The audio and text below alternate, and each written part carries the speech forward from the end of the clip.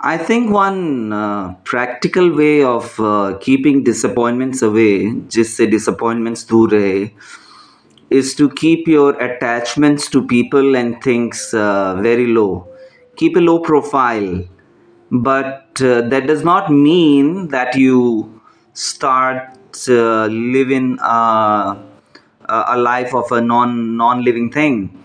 Uh, what what I'm trying to say is that you know if you keep your expectations low then disappointments go away but at the same time uh, we're all of human nature right and uh, keeping our expectations low uh, is is impossible तो हमारी expectations जितनी बढ़ती है लोगों से उतना ही कभी कभार हमें डिसअपॉइंटमेंट भी ज़्यादा होता है तो मेरी सलाह ये है कि डिसअपॉइंटमेंट से दूर रहो और डिसअपॉइंटमेंट से दूर रहने के लिए एक ही उपाय है कि एक्सपेक्टेशन ही कम रखो लोगों से।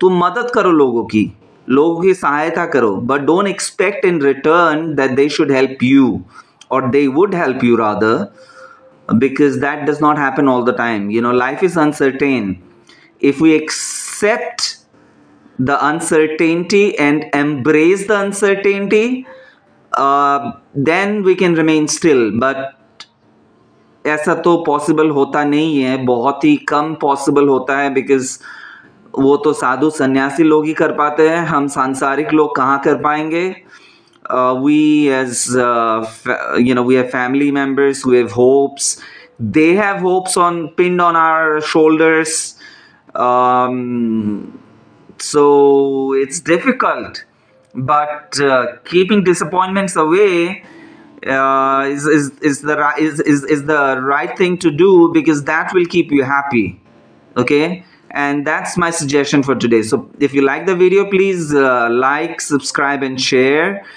And um, I love you all. And please comment. I'll reply to all your comments uh, as soon as I get the time okay and um, you know i love you all. Thank you